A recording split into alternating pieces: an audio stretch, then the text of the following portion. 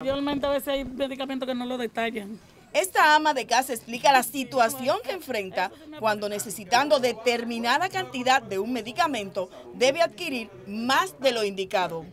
A mí me ha pasado, eso sí me ha pasado a mí, que he tenido que comprar la caja porque no detallan.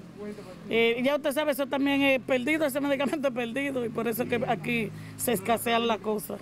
Lo mismo ha pasado José, según relata. Incide mucho en la economía porque imagínate, si el tratamiento es para 15 días y no te detallan las 15 pastillas, tú tienes que comprar obligado el medicamento completo, las 15 pastillas más, aunque te hayan recetado para las 15 días. Te vale mil, tienes que comprar la caja que vale tres mil, obligado. Tienen que incidir. Imagínate una gente pobre que nada más tenga el dinerito para comprar las 15 pastillas. En ese sentido, el médico y abogado Víctor Díaz Alba precisa que con los medicamentos ocurre otra situación también incómoda para los pacientes. Usted sabe qué abuso es cuando me indican un medicamento diario como el Plavix. Entonces, uno diario y la caja lo que tiene son 28. Tengo que comprar dos pastillas más.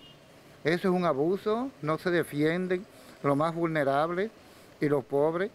Si hay un medicamento que que se toma diario, la caja debe tener 30 y eso es la casa farmacéutica, que es una explotación.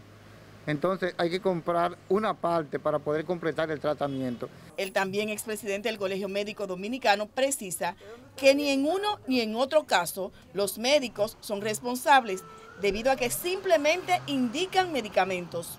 Pero dice, alguna entidad debe asumir el tema que perjudica económicamente a los usuarios.